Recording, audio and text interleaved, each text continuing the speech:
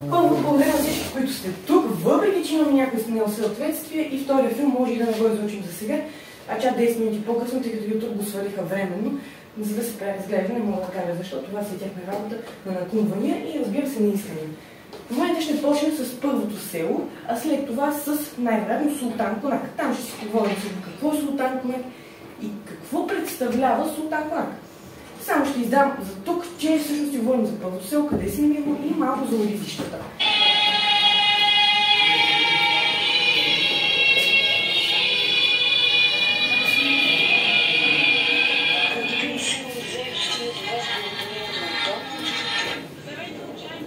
Аз